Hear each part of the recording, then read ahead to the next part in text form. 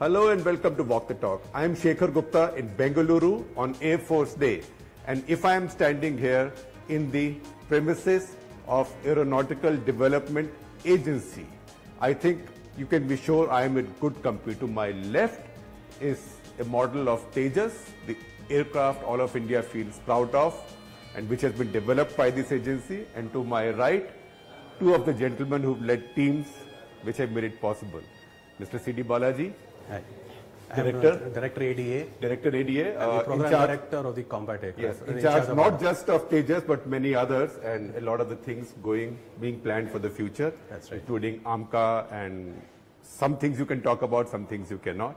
And uh, Dr. Girish Deodhare, a scientist, scientist, uh, he's a soldier scientist, you are a, or sailor scientist, you are a scientist scientist who's dedicated his life uh, to many technologies. Some we can talk about, some we cannot, but just describe them a little bit. Describe your role.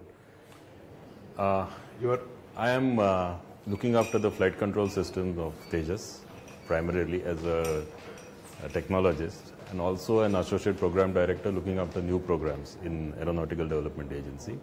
So as part of my major activities, we have developed the flight control system for the Tejas. what we used to call fly-by-wire. It is called fly-by-wire, and as everyone is aware, Tejas is a highly unstable aircraft uh, for maneuverability.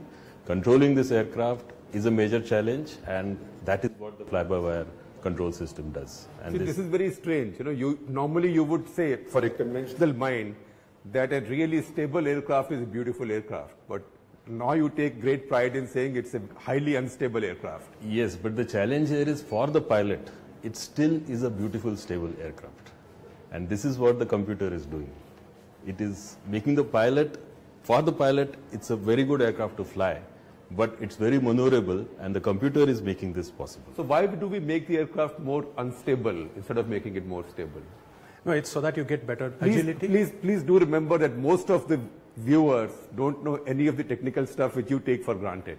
No, that's the reason I'm saying that, you know, the aircraft is highly agile, it's highly maneuverable, and that's the beauty of this whole thing. That, you know, by making it unstable, you're giving a pilot a pseudo sense of stability by his uh, controls, as Dr. Girish brought out. However, what really happens is that uh, you can throw the aircraft around. And by this agility, like for example, if you have to move the aircraft to a full 8G maneuver or you want to do a very tight It is turn, eight times the force of force, gravity. force of gravity. And you want to basically do a very very tight turn or so then what really happens is that uh, you can actually throw it around. Not worry the pilot should not worry about whether he's going to lose control or not. Right. because once he moves it to the extremes the con- computer actually takes on and then builds up this thing Can you describe this model to me? Wh- wh- What are all these things? But once again, remember that uh, not everybody is an Air Force or an aviation buff. Okay, this uh, model here is basically of a two-seater aircraft. In fact, uh, Trainer. which, uh, the trainer, which the uh, our Chief of Air Staff, uh, Chief Marshal Raha, flew in the month of May. Uh, you have a, a single seat in the front and a, a second uh, tandem seat at the rear.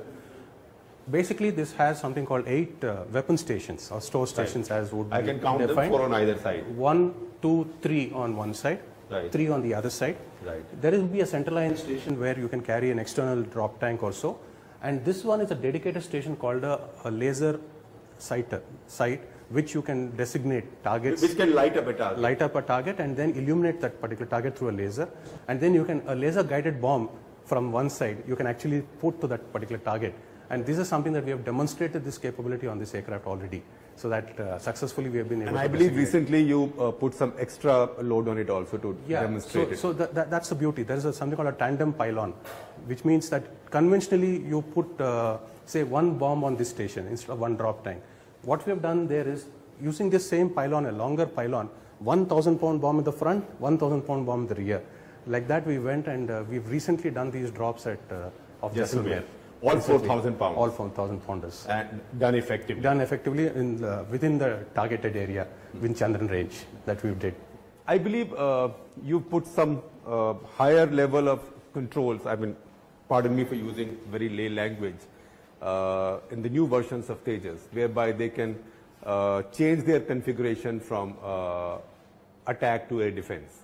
Yes, actually, uh, Tejas is very advanced in that sense that when you carry all these weapons, The computer knows what you are carrying, and if you release some weapon, internally the reconfiguration takes place. The pilot doesn't have to change the way he's flying the aircraft, regardless of what he's carrying. And we are also doing one more thing. We are trying to take this aircraft to its maximum possible capability. And that also the controller is doing by building in limiters so that the pilot can fly to the max possible uh, capability of the aircraft without exceeding it and going into unsafe regions. That, that the computer will stop him from doing. Yes, that's carefree maneuvering. Is So, what. so does computer sort of override the pilot? Does computer make pilot less important? Not less important, he is assisting the pilot by making sure he doesn't go into areas which are unsafe. For a conventional aircraft, pilot has to remember this and then he will stay slightly short of these areas because he is worried he may exceed and get into regions which he won't be able to control. So the computer allows you to take you to the extremes without any worry of departures. So it's complete carefree maneuvering. Mr. Balaji, can you explain to me, uh, since you were in naval aviation for a long time and, and naval engineer as well, how exactly, uh, what exactly do we mean by an aircraft changing configuration from an attack mode, bomber mode, to a uh, air defense mode? See, what happens is this aircraft is uh, something called a multi-role uh, aircraft. It's got a swing role capability. Uh, what Which happens? different from swing wing. Swing wing, yeah, different from swing wing. Here, what happens is on the inboard side, we are going to be carrying uh, the air-to-ground weapons. Like some, like I mentioned, that we can carry thousand-pound bombs on the central line. I mean, inboard station. On the central line station, we'll be carrying a beyond visual range air-to-air missile, and on the outboard stations, we are carrying close combat uh, uh, air-to-air missiles. Typically, what happens is that uh, when you are in an air-to-ground configuration, that is a heavy store configuration, your boundaries Bombing configuration. configuration, bombing configuration, your boundaries are restricted. Like what uh, Dr. Deodhare brought out that you know you can do an 8G maneuver and things that, or eight times the you know weight of the uh, aircraft itself. But the moment that the air-to-ground configuration is actually, or the bomb is released, typically what would happen is that if you have a pure bomber or a pure uh, air-to-air uh, aircraft, you would actually come back, reconfigure the aircraft. Whereas after the air-to-ground bomb is actually released, air-to-ground bomb is actually dropped, automatically the uh, configuration of the aircraft changes to an air-to-air role, and then it permits you higher maneuverability. So basically, basically, if it goes into hostile territory for an attack mission, uh, immediately it's prepared for self-defense. self-defense, an air defense uh, kind of a thing. But that's available, I'm sure, in other aircraft also, other comparable aircraft. Uh, in the latest aircraft, yes, that is available, and LCA is contemporary in that sense. But some of the earlier aircrafts, which even our Air Force has, pilot has to manually change over, Right. looking at the configuration and do this switchover manually. Right. Here it's all automatic. So, uh, where do you benchmark Tejas? And when, then we look at the future. Where do you benchmark Tejas now, uh, globally, in terms of what's available? I think as far as technologies, we are at the forefront, meaning there is no aircraft which has more technologies and we are continuously adapting. So this is a contemporary aircraft in terms of avionics, in terms of flight controls. It is uh, at the state of the art right now, At the cutting edge. at the cutting edge. Of course, bigger aircraft can do bigger things, and so that you can't compare a bigger aircraft with a smaller aircraft in that way. But in terms of technologies and capabilities, it is at the cutting edge. But did we have to develop all these on our own because all these are available off the shelf also? They are not available, the critical technologies are not available off the shelf. Nobody is ready to share these technologies, so we had to develop these on our own. For example, fly-by-wire has been done completely within the country. The control laws, the But you hardware. know, the Mirage 2000 is fly-by-wire. The new Rafale will have fly-by-wire. Yes, but they won't share these technologies with you. They won't share the know-how. But see, I'm asking uh, deliberately this: Why do you need the know-how when you can buy it? They won't sell. Sometimes they may not even Okay, be willing there to is sell a small also. problem. Suppose you buy a technology. Now, suppose you want to put a new store or a new weapon.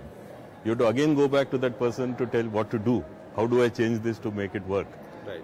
Here we don't have to do that. We can put any stores because we know exactly how the thing works. Again, one buzzword one hears all the time is composites. I know that Indian Air Force loves the delta shape, going back to 1964 and MiG-21 and then Mirages. How do composites work, and why do you need them on a new fighter So plane? this uh, basically what happens is that uh, one is water composites. composites are uh, uh, something that you use in simple terms, something like your resin plastics. Right. And uh, if you want to do it in layman terms, you use that particular thing where uh, we can uh, have a layer of resin and plastics with uh, bonding together and then you press them together and then heat. That is the thing, as a composite structure. There are different types of composites that are there. And why do you need composites and not just strong metal, titanium? No, one is weight. Weight. Weight. You know, you can actually get a something. There is something called a strength to weight ratio. Right. That means you get higher strength with lower weight. That's what you look for. So metals typically would uh, have a uh, you know lower uh, strength weight ratio. Here, what happens is by using composites, you are able to save weight on that. Number one. Number two is that by using carbon composites, you are able to also give a certain amount of stealth to the aircraft. And one of the highest composites usage in the, in the probably the world round is in this aircraft. The 90% of the surface area of this aircraft is uh, using composites. Almost 45% by weight of this aircraft is composites. Uh, that's a very significant percentage uh, that we have used, and that's another cutting edge technology that we have uh, basically brought into this aircraft.